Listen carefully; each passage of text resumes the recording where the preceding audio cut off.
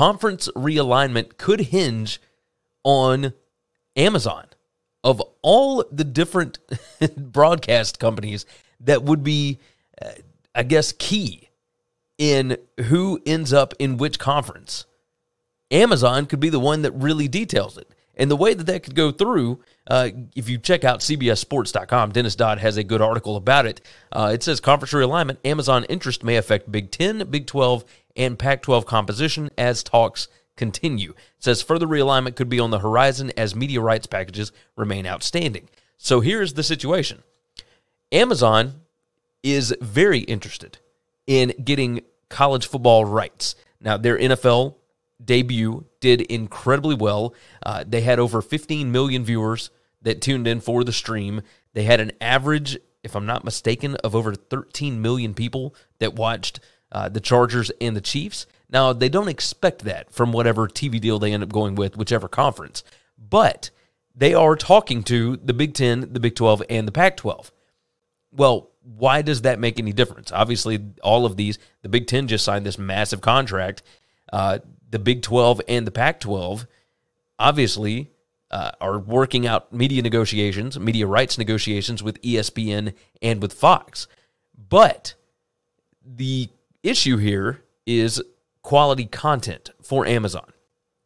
If they want to do a deal with the Big Ten, that would mean that the Big Ten would need to go and get more inventory, and Amazon would get the bare end of that inventory they would get the very least a little bit. They've got 112 games that are already accounted for. If you go out and you bring in two other teams, you can find a way to get more games out of that, obviously, because uh, you're going to get nine more conference games per team out of each one. So you've got at least 18 more games there. But eh, does Amazon want to pay a bunch for the low end of Big Ten? Uh, Probably not. So, what you're going to try and do is figure out which top tier is worth more. Is that in the Pac 12 or is that in the Big 12?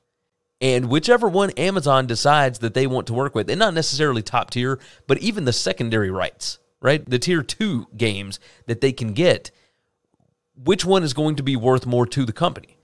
Which one, and, and that's where it gets tricky, is you got to figure out not only who is more tech savvy, but who is more willing to uh, buy an Amazon subscription to be able to watch their team?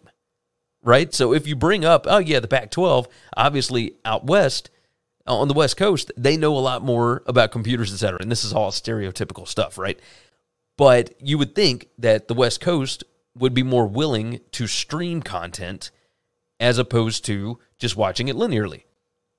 Well, the issue with that is how many of those people are willing how many of them are passionate enough about their teams in order to go through the trouble of going with a new streaming service?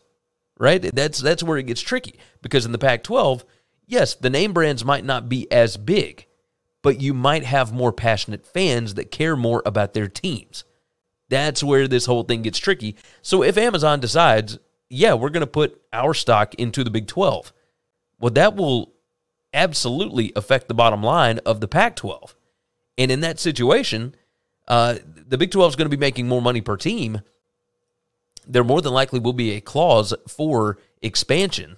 Uh, and if the Big 12 wants to bring in some of those Pac 12 teams, well, that could effectively just end the Pac 12, right? That's where it gets tricky. So if the Big 12, obviously we've talked about this in the past Arizona, Arizona State, Utah, Colorado, they want to bring in those four that makes a 16 team league much the same as the SEC and the Big Ten. No, it's not on the same caliber, but it is still uh, effectively ending the Pac 12 conference, at least as a viable Power Five conference.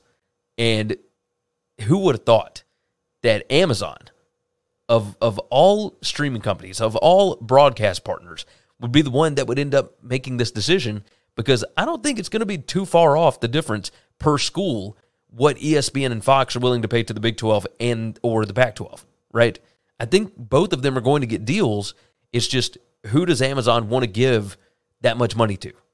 It's going to be really tricky. I am very interested to see what is going to end up coming out of this. But man, uh, Amazon calling the shots, trying to figure out who they want, who they are going to make a viable contender, a viable conference. Whew, unbelievable. Unbelievable. Thanks for listening to Winning Cures Everything. Make sure and subscribe on YouTube or your favorite podcast app. And make sure to leave a nice five star review. Can follow Gary on Twitter at GaryWCE. And the show is at Winning Cures. Be sure to check out the merch in our web store and share the show.